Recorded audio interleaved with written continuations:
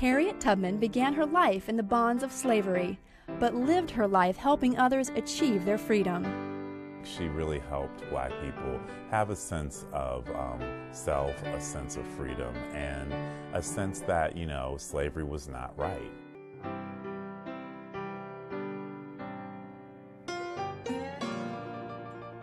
Araminta Harriet Ross was born into slavery around 1820 in Dorchester County, Maryland.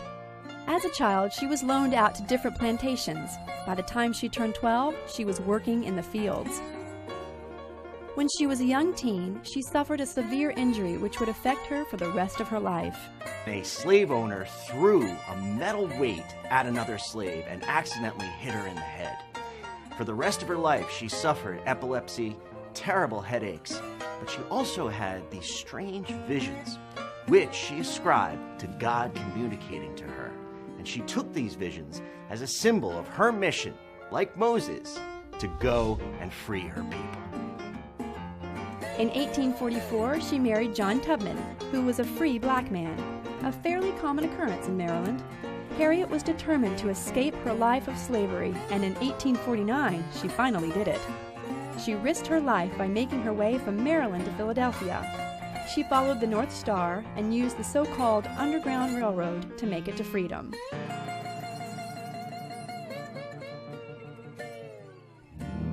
Lord, I'm a pilgrim.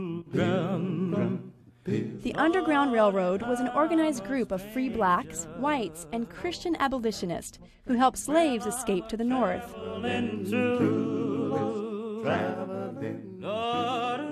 Harriet had made it to the Promised Land. No one would have blamed her if she never returned to the South, but she desperately wanted to free her family. She made perilous trips back to free her two brothers, her sister, and her sister's two children. When she made a third trip to get her husband, she found he had taken another wife. Instead of returning with her husband, she saved more slaves. Not only did she escape slavery and achieve freedom for herself, but she went back down into the South to bring freedom to dozens of other slaves.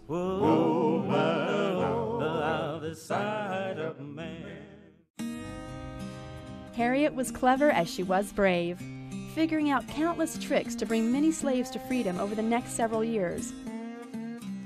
The fact that she developed these paths and trails that took people through the country and they traveled at night and they used quilts to to have secret codes and, and know the paths and then to bring people north across the Mason-Dixon line into Ohio um, to find freedom. So she was a pioneer and I think a very, very strong woman.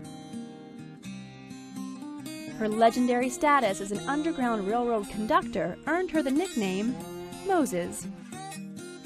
Well, I think Harriet Tubman's uh, name, Moses, you know, comes from Moses from the Bible, leading people to freedom. And it's a very, very proper name, I think, for her, and, and one that she definitely lived up to.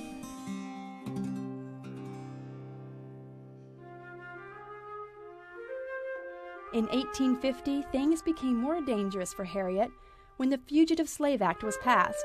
Instead of being a free woman, she was now a fugitive. She continued to free slaves, but now guiding them to Canada so they could truly be free. From 1851 to 1857, Harriet lived mostly north of the border in St. Catharines, Canada. She continued to make trips to Maryland twice a year to save more slaves. Besides her work as a liberator of slaves, Harriet spoke in support of anti slavery and women's rights. Her efforts made her a wanted woman with a bounty on her head, but she was never turned in. She aided abolitionist John Brown with his plans for the raid on Harper's Ferry.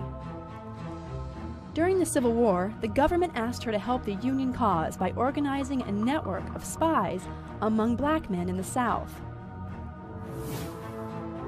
Not only was she known as the Great Liberator, but she also assisted the Union Army, going down on patrols and advising Union officers on how best to attack the South.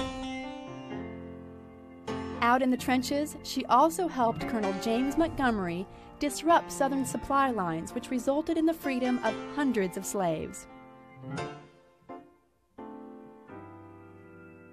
After the war, Harriet dedicated herself to establishing schools for freed men in South Carolina.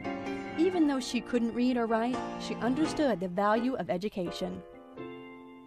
In her later years, Tubman worked with her friend Susan B. Anthony to support the cause of women's suffrage. Harriet Tubman is relevant today, not only for her work in terms of racial justice, but also in terms of women's rights. After the Civil War, she became an outspoken supporter for the suffrage movement to get women the right to vote. To help make ends meet and continue to help the causes she believed in, she worked on a book called Scenes in the Life of Harriet Tubman. In 1908, she established a home for older poor African Americans in Auburn, New York, which she moved into in 1911. She lived there till her death in 1913 from pneumonia.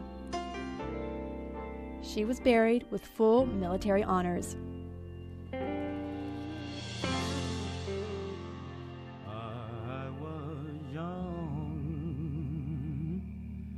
But I remember.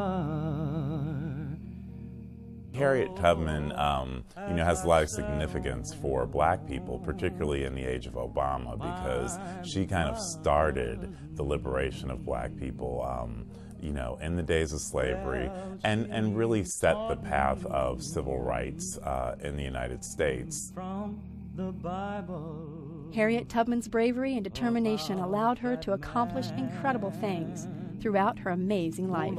From Galilee.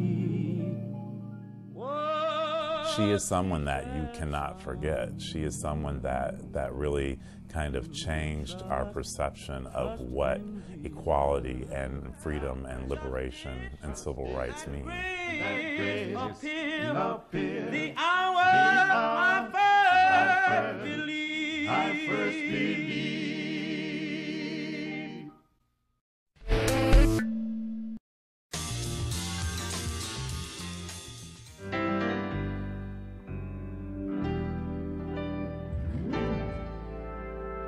My name's Alison Saar. I'm the artist that uh, was commissioned to create the Harriet Tubman Memorial here in Harlem at St. Nicholas and 122nd.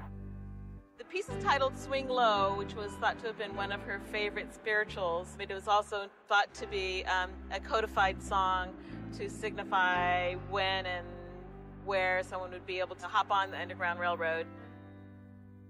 She's a cast bronze figure uh, resting on granite. Around the base, there are quilt like squares that simultaneously refer to the tradition of freedom quilts, which were thought to have been used as signals for the Underground Railroad, interspersed with images that kind of mark certain stations of Harriet Tubman's life. I love the way that the artist used um, symbols to tell a story, and that's such a part of African American cultural history. It's nice that there's a text panel that tells you her history, but I also wanted to have that history put in pictorially. Um, one, to kind of honor her being uh, unable to read, but also that people come here. I mean, this is an international community, and that people, no matter what language you speak, can really understand her story by looking at these pictures. Little children can look at those little pictograms and think about their own lives and think about the stories that they're they're part of history. They have a responsibility to create their own history. It's important for us to remember all of our heroes, but it's especially important to me for us to remember the female heroes. Somebody like Harriet Tubman had many different vocations in life. She was a nurse. She worked for the. She was political. She supported the um, the army. She worked as a spy. She was a healer. She was a soldier in the Civil War. She was so courageous. They called her a conductor on the Underground Railroad because she made several trips. As this piece really shows, she is not just a conductor, but she actually embodies the whole idea of the train or of movement and transporting people. If you look at her, she uh, is like this unstoppable railroad herself. She's kind of plowing down the middle of the street. Her petticoat has become like this cattle catcher sort of parting traffic. trailing behind her all these roots, which kind of, for me, symbolized the uprooting of slaves. You know, they basically, I mean, Harriet herself didn't tell her husband she was leaving. She just, you know, you had to steal away in the middle of the night and you couldn't tell people because you never knew who they were going to tell. But also, just her role in terms of uprooting the institution of slavery as, well. So it kind of takes two sides of the idea of uprooting. Within her skirt, I wanted to incorporate these sort of spirits of all the people she helped bring to, to the North and to freedom. And so it's a very tactile piece. And I'm hoping that at some point, you know, that it'll start taking on the patina of all those that come and touch her and sort of, you know, relate to her in that very sort of tactile, physical way.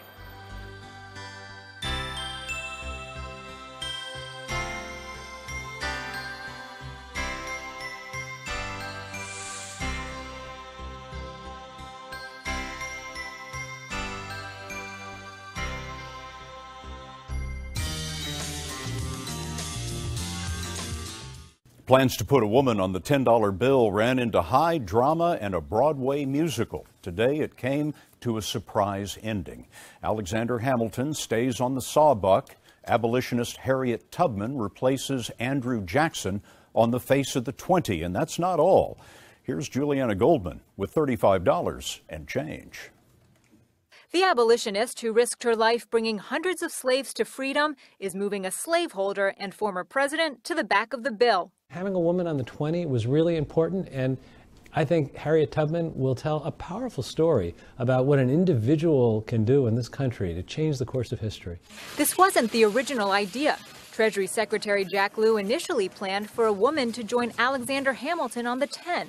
But a Broadway hit about the founding father and first Treasury Secretary meant newfound fans rallying around not a woman, but Hamilton himself. You're not denying that Hamilton the musical played some part in all of this decision. I wouldn't exaggerate it. When I saw the show in August, uh, I uh, already at that point told the, the, the people I talked to, don't think this is going in a place like you read about because it's more complicated than that. It's bigger than that. So Lew went bigger, minting women's place in history on the 20, the 10, and the 5. The back of the new 10 will honor suffragettes like Susan B. Anthony, and the redesigned 5 will feature Eleanor Roosevelt and showcase historic events at the Lincoln Memorial, like Martin Luther King's I Have a Dream speech. The designs for all three bills will be unveiled in 2020, the 100th anniversary of women getting the right to vote. They'll go into circulation in the years following. Barbara Howard has been pushing to get a woman on the 20. The 10 will be distributed uh, in early 2021, and we'd like to hear that same commitment for the new 20. The issue with timing is security and making sure the money can't be counterfeited. Scott, ultimately, it's up to the Federal Reserve to decide when money goes into circulation. And so Lew tells us he's asking the Fed to expedite that process. Julianna Goldman next door to the White House at the Treasury. Julianna, thanks very much.